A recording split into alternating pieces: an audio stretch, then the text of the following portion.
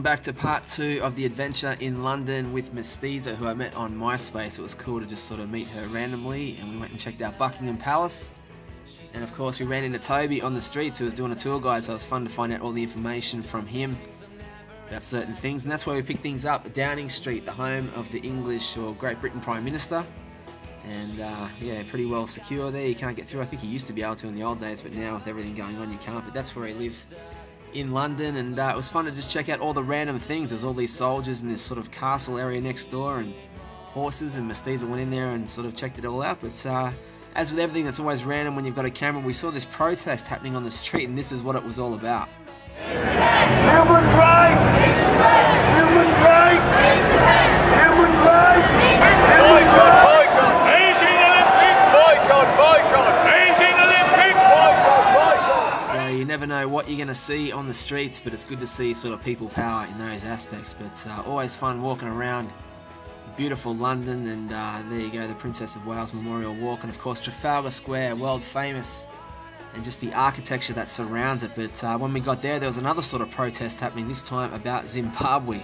And on this International Women's Day, send our sisterhood and solidarity to the women of Zimbabwe and support the struggle for decent work, decent life for women all over the world.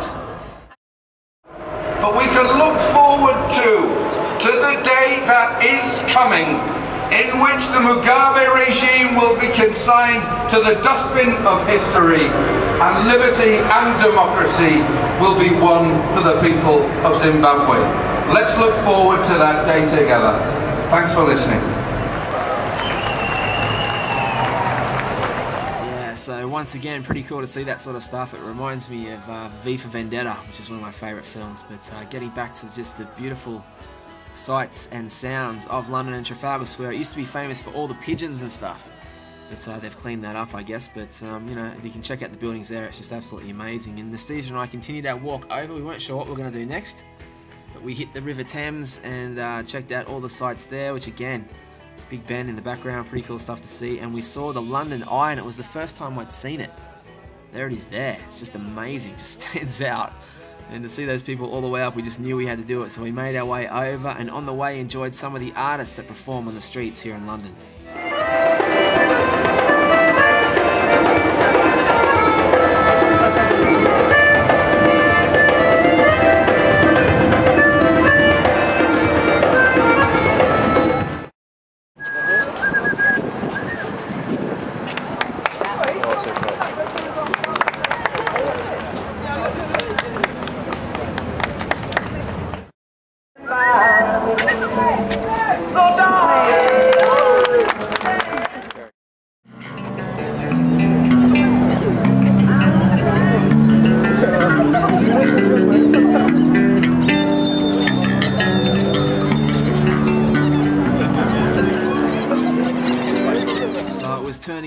Fun afternoon in London and all the different uh, musicians and street performers that you see there along the River Thames. Um, so much work goes into the designs their costumes and makeup. I can just imagine these guys getting ready and arriving there for their job, I guess. That's how they make their living.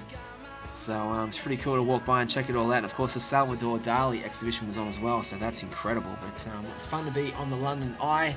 Cost about £15, and when we got on, we had a chat. Well, here we are on the uh, Eye, right? Is that what it's called? Eye. The London Eye, yeah. Tell us the background of your name. What's the uh, the meaning of Mestiza? Mestiza.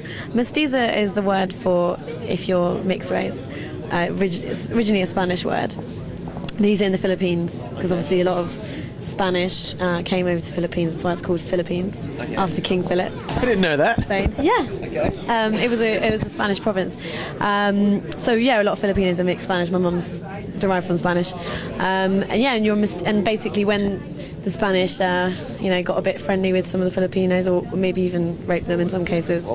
Yeah. Um, they'd call their offspring mestizas or mestizos, you know, when they're mixed white and Filipino. And then it just became sort of known anyone that's mixed white and Filipino because I'm not, I'm not half Spanish, I'm half English, half Filipino. So, so that's the origins of the name. And uh, yeah. I mean, even though it's sort of like a racially derived name. Um, I'm, you know, proud to be mixed race, and it just kind of stands for, you know, just being mixed in general and the whole thing about being between borders and merging different cultures and stuff. It's kind of, you know, it's, it's more common today in today's society. So. You ever been here before? No, I haven't. I'm really excited. Actually, I want to get to the top. The views from the top are just amazing, and I thought I'd pick a great English band in Oasis and put a montage together.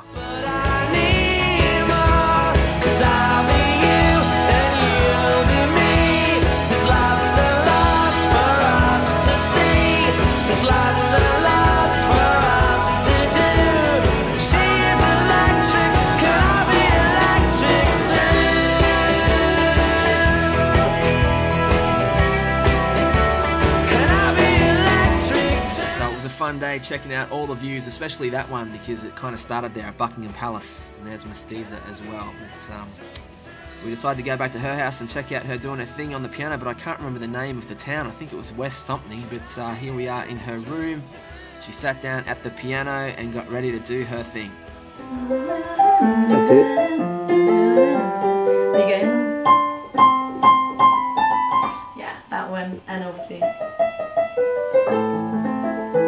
Wow. I just love to be able to do that. It's pretty easy. I'll teach you if you want. Yeah, no, not for me. So after a bit of a warm up, Mestiza got ready to uh, show me one of her songs. You can check them all out on a MySpace page there, Mestiza UK. But uh, here's one of her songs, Show Me the Way.